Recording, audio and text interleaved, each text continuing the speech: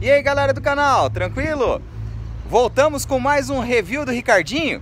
Hoje eu trouxe para vocês aí, ó, uma bike nova da linha Odd 2018, que é a Odd Hacker Sport. Eu vou fazer uma sequência dos modelos delas, passando aquele review básico, daquelas características e assim por diante. Segue a vinheta aí, galera!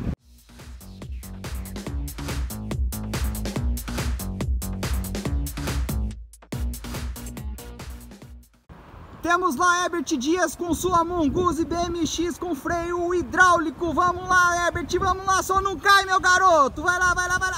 É, piazão, olha aí, ó. Tome, tome, tome. Herbert Dias na configuração aí, ó. na tocada. Isso aí, gente, aqui é tudo louco. Ó o Nero ali, ó. Então, galerinha, essa aí é a Odd Hacker Sport a, a bike de entrada da Odd Bikes nos modelos 29 para mountain bike.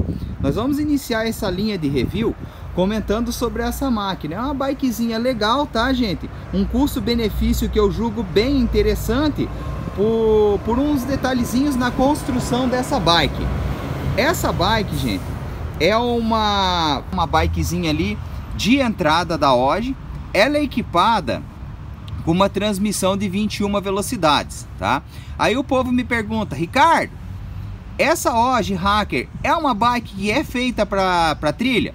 Bom, a nossa indicação da OG Hacker, gente, ela é indicada para uso urbano recreativo, aqueles pedais leves e coisa e tal. Mas a OG, ela se preocupou na confecção dessa bike porque quem compra uma bike dessa de entrada também pode fazer trilha assim. A Odd, ela fez uma configuração especial nesse modelo, que ela colocou ali atrás, ó, numa catraquinha de rosca de 7 velocidades, mas ele colocou o atributo do Mega Ranger. O que, que é isso, gente?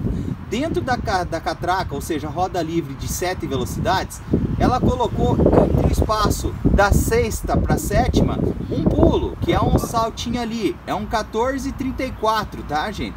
Ela vem também no turning, tá? Ela vem no turning, que é um TZ300 para puxar ali o Mega Ranger. Ela vem com de vela dianteiro triplo na configuração de 42, 34 e 24 dentes. Câmbiozinho dianteiro, turning. Então vocês vejam, ele é um sisteminha fechado, um grupinho legal. Aqui um outro detalhe dentro desse grupo, gente. Ela vem ali, ó, com as alavancas o EF65, que tem alguns concorrentes, gente, algumas marcas aí, que montam umas alavancas de marcha num, numa configuração um pouquinho abaixo, em que a maçaneta aqui, gente, ela vem de plástico. Nessa construção do EF65, ela já vem em alumínio. Nós temos aqui também a suspensão dianteira. Ela é equipada com uma suspensão a mola da Zoom, tá? Onde tem o grafismo odd, mas é uma Zoom Travel de 100 milímetros, uma suspensãozinha bem legal, tá? Ela vem equipada com uma mesa, um avanço de guidão aqui 90 milímetros, trazendo a possibilidade de conforto, tá? E também ela vem com os ajustes, arruelas de ajustes ali, ó, de fábrica, em que você pode elevar ainda mais um centímetro. Temos aqui, gente, o canote de selim numa especificação 27.2 onde algumas bikes são compradas pela internet, vocês vejam nesse padrão, elas vêm com carrinho à parte do canote. Já nessa daqui, ó, ela vem com canotinho da Zoom, tá? Com certeza ali o gráfico, gráficozinho da Odd, mas é um canotinho já integrado, bem fácil de ajustar. E um outro detalhe que eu gosto muito dessa bike é o selim. Ela vem com um selim velo só que é num padrão bem legal, num padrão de espaçamento 155. Então é um cilinzinho bem confortável, uma bicicletinha bem ajustada. Pneus dela, na linha 2018, elas estão vindo com os pneus DSI, tá? Um pneuzinho 29 por 2.10, configuraçãozinha mista. Eu gosto muito dessa bike, gente. Ela é um ótimo custo-benefício. O valor sugerido pela Odd é de 1.699 nesse modelo, tá? Então assim, é uma bike de entrada, é uma bike legal. Esse modelo em questão aqui que eu peguei, eu peguei uma 15,5. A Odd Hacker, ela vem disponíveis no 15,5, 17 e 19, segundo especificações do fabricante. Veja ali, ó, selinho da Shimano, tá? É uma bikezinha bem, bem legal.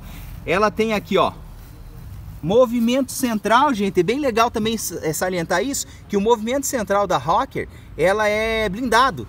E assim, os concorrentes, grande parte deles nesse tipo de bike, nesse segmento, eles colocam assim um, um movimento central mais simples, não sendo blindado.